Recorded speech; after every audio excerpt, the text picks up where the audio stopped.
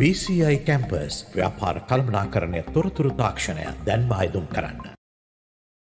පොදු ප්‍රවාහන සේවා නියමිත පරිදි ක්‍රියාත්මක වන්නේ නැහැ. වෙනදාට බයිසිකලයකින් පාසල් යන දරුවාටත් අද එම අවස්ථාවත් අහිමි වී තිබෙන්නේ. වැඩිහිටියන් තෙල් ගෑස් හෝ වෙනත් පෝලිමක සිටින නිසා. පොදු ප්‍රවාහන ගැටලු හේතුවෙන් කුරුණෑගල නගරයේ දරුවන්ගේ පාසල් පැමිණීමේ අඩුවක් අද දක්නට ලැබුණා.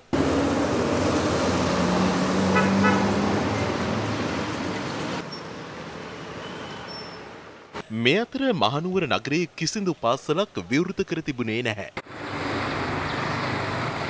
නගරෙන් පරිබාහිර පාසල් විවෘතව තිබුණත් දරුවන්ට පොදු ප්‍රවාහන කටයුතු සීමා සහිත වීම නිසා දරුවන් මෙන්ම ජනතාවද අපහසුතාවට පත් වුණා.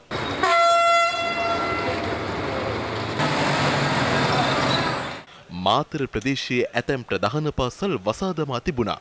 සෙසු පාසල් විවෘතව තිබුණත් දරුවන්ගේ පැමිණීමේ අඩුවක් දක්නට ලැබුණා.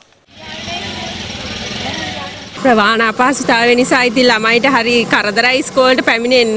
ඒ වුණත් ඉතින් ළමයිගේ උනන්දුව තියෙන නිසා ටීචර්ස්ලත් ඉස්කෝලට එන නිසා එනවා. ප්‍රවාහන අපහසුතාවය මග ඇරුණොත් හොඳයි කියලා තමයි කියන්නේ. ගුරුවරු මොන ප්‍රශ්නය තිබුණත් ගුරුවරු සහ විදුහල්පතිවරු පාසල් වලට මොන දුෂ්කරතා මැද හරි එනවා සුරක්ෂිතව යනවා. හැබැයි ගැටලුවක් තියෙනවා. දරුවන්ගෙන් 140කටත් අඩු ප්‍රමාණයක් තමයි පාසලට එන්නේ. එතකොට ගුරුවරු දැන් කොහොමද විශේෂ දේශ කවර් කරන්නේ? දරුවන් පිළිබඳ පාරදී ඇති වෙන යම් ගැටලුවක් අවතේට වගේ කියන්නේ කවුද? මේ ඉන්ධන අර්බුදය කිසිම පාඩුවක් නොවීම සඳහා අපි අගෝස්තු නිවාඩුව කෙටි කරනවා දෙසැම්බර් නිවාඩුව කෙටි කරනවා. ඒ වෙනුවට මේ දින ප්‍රමාණය තෙන්ට ගන්නවා. මේ අවුරුද්දට නියමිත කාලච්ඡේද සංඛ්‍යාව සම්පූර්ණ කිරීම සඳහා අපි විශේෂ වැඩසටහන් ක්‍රියාත්මක කරනවා ඒ වගේම උසස් පෙළ විභාගයට පෙන්වන සිටින සිසුන්ට අපි විශ්වවිද්‍යාල පද්ධතිය තුලින් අපි ගුරුවරුන්ට සැසිපවත්වලා ඒ මගින් දරුවන්ට අපි පුනරීක්ෂණ ප්‍රශ්නෝත්තර වැඩසටහන් සහ පාසල්වල අතිරේක වැඩසටහන් මේ වෙන විට අපි සංවිධානය කරමින් සිටිනවා. ඒ සීලු කටයුතු අගෝස්තු සැප්තැම්බර් ඔක්තෝබර් කියන මාසවලදී සිදුවේවි.